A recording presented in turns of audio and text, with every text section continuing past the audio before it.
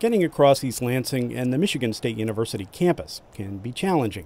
A new company hopes it can take an old idea and make a little money by making it easier to get around. David Thorin is the owner of Spar-Thai Green Cab. I had an opportunity to visit Thailand. Thailand was absolutely beautiful. People were so friendly, and they had a transportation system which I found very uh, interesting and very cool. They, they call them tuk-tuks. They're, they're three-wheeled uh, motorbikes that run all around, primarily in Bangkok, but you see them in any Southeast Asian country. Thorin says it wasn't just the people powered transportation that caught his eye.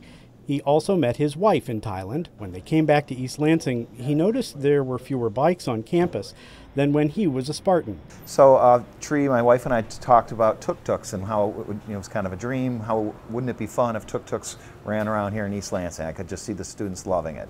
And from there, we just started making question or asking questions and making inquiries. And we found a company that manufactured um, like a traditional pedicab bicycle, the difference being that they were electric powered. Thorin says the electric powered tuk-tuks that Spar-Thai uses are good for the environment and good for the drivers, who are mostly students and not necessarily strong bikers. They're a lot of fun to operate. They're, they're easy to operate, but we take care um, to train the drivers because they are trikes and no one's driven a tricycle probably since you were three years old and there's some there's some nuances to riding a trike, so we, we make sure that everybody's comfortable before they get passengers on them. But we've been incident free, and uh, the bikes go around 15 miles per hour, which doesn't seem like it's very fast. But when you're walking and you have a backpack at 15 miles an hour, we're going to we're gonna be able to get you from uh, McDonel Hall to the library in you know less than five minutes. It's really going to be reliant on, on, on, a lot of things coming together. One is that we, we want to have low prices because I think that that really attracts students. So to help supplement that, we've been approaching local businesses